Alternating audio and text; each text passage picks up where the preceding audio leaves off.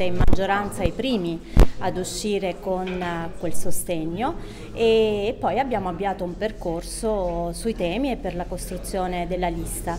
Intorno al nostro sostegno si è unita una larga coalizione, una coalizione assolutamente solida e importante perché ha messo insieme anche tanti altri soggetti. Soddisfatti di questi cinque anni, tanti eh, i punti portati a compimento, tanto altro c'è da fare per cambiare il volto di questa città. Teramo è il primo capoluogo in Italia per raccolta differenziata, bisogna andare avanti sul solco già tracciato e portare a compimento tutto ciò che già è stato iniziato.